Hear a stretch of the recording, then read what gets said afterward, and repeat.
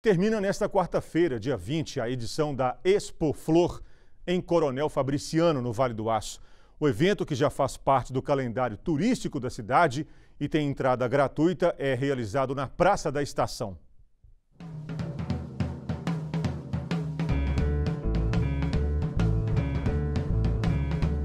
Elas são delicadas, exuberantes e coloridas. São tantas que fica até difícil escolher a mais bonita. Foi por uma chamada de vídeo que a Kelly ajudou a mãe a escolher uma flor. Deu um trabalhinho que minha mãe tá querendo, é essa, é essa, é essa. Eu, é essa ou não, mãe, é que é a roxinha. Olha, que é tudo. A senhora tem muitas plantas aí na sua casa?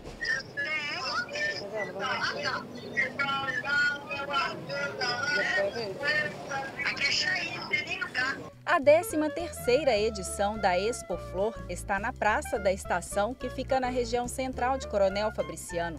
Ela vai até quarta-feira, dia 20. São mais de 150 espécies de plantas e flores ornamentais.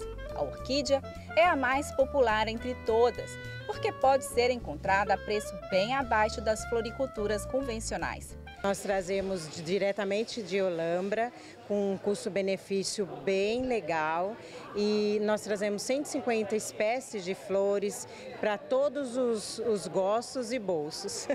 As plantas decorativas também têm ganhado cada vez mais espaço. Vou colocar na sala da minha casa. Já vai enfeitar o Natal? Sim, vamos, vai ficar lindo lá. E você, como que vai, como que vai ser lá na sua casa? Onde vai Sala uma sala bem bonita, um vaso bem bonito. Nossa, vai ficar tudo de lindo. E que planta é essa? Essa é Ficus lirata.